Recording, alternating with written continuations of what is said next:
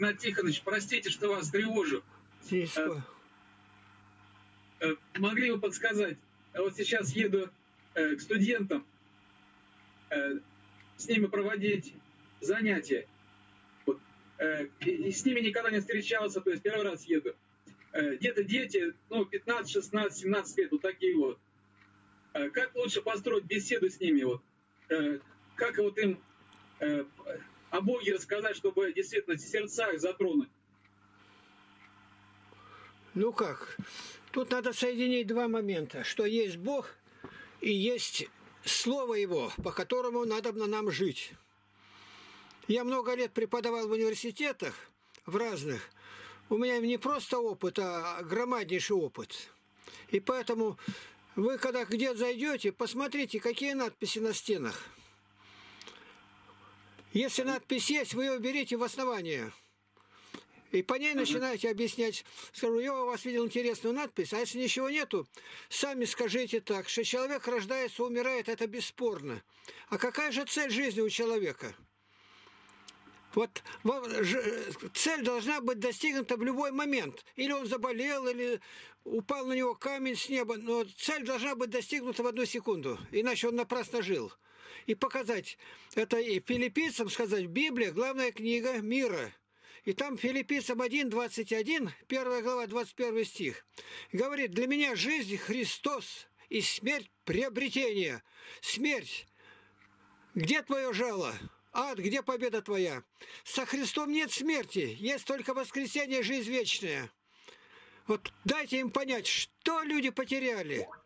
Бессмысленная жизнь, коварный обман, разводы – Можете сказать статистику за первые 4 года после свадьбы. В 4 года разводов 84,6%. На тысячу свадеб 846 первые 4 года развод. Почему? Жена не знает свое место. А Библия говорит, жене учить не позволяю, не властвовать над мужем, но быть безмолвии. Вы говорите с властью, которую вам Бог дал, чтобы они почувствовали – у верующего не может этого быть, и даже близко нет это. Вот начните с этого, ну, чтобы Библия у вас была большого формата, показать. Вот что это такое. Так. Хорошо. Вот я бы с вами пошел, если бы рядом были. Игнат Тихонович, пожалуйста, поддержите меня молитвой. Хорошо. Вот я э, говорил слово в Академгородке Новосибирском. Это главный научный центр страны. Одни академики, профессора, и перед ними я с Библией, букашка. Но когда я уходил, у них как будто образования, говорит, не было, между собой разговаривать. Мне говорит, кажется, я не учился еще. Прямо открыто нужно говорить. Все это дает Бог с Богом. Посмотрите, какие у нас были изобретения, какие были поэты, писатели Достоевского, припомни, что там есть, Некрасова, как они самые лучшие чувства будили. А сегодня что, какие фильмы-то? Только голытьба. Весь интерес ниже пояса. Да разве может так человек жить? Страна исчезает. 81 тысяча населенных пунктов погублено. Тысяч сел, которые кормят страну. Данные вам просто необходимо сказать. За время перестройки 120 миллионов абортов. Но их на самом деле больше. Миллионов. Это государство э, гибнет в женской вагине, захлебывается кровью. Помоги вам, Боже. Помоги, Господь. Спасибо, благодарю вас, Игнат Тихонович. Спасибо, спасибо никогда не говорите, говорите «Спаси Христос». Спаси Христос. О, всегда повторяйте это имя. Человек на это сразу обращает внимание. Ты что, христианин? Да. Христи... В мире население 8 миллиардов, 120 миллионов. Из них 2 миллиарда 450 миллионов, которые признают Христа за Бога. Мусульман еще нет 2 миллиарда даже. Вот и все. Считай, неверующих на земле не больше 10%.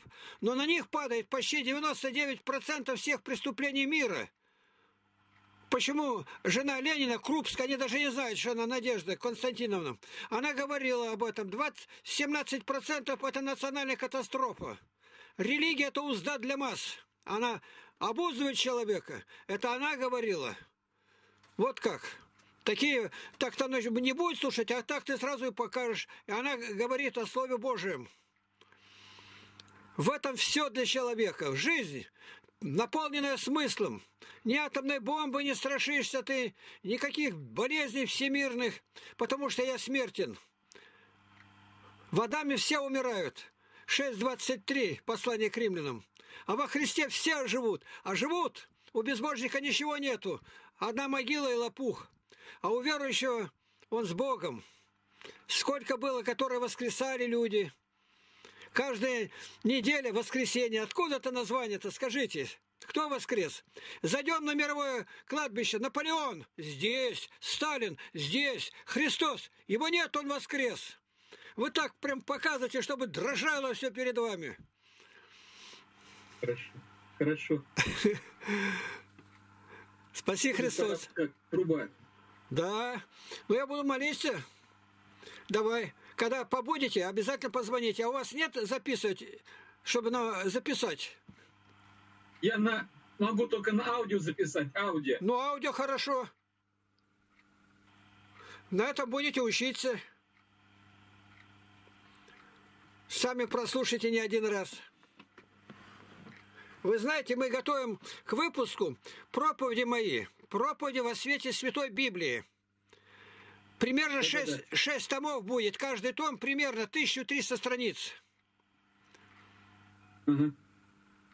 Вот так. Помоги, Господи. Храни вас Господь. Ну все Благодарю. тогда, отхожу. Да, спасибо. Давайте. Спасибо. Аллилуйя. Молодец. Аллилуйя.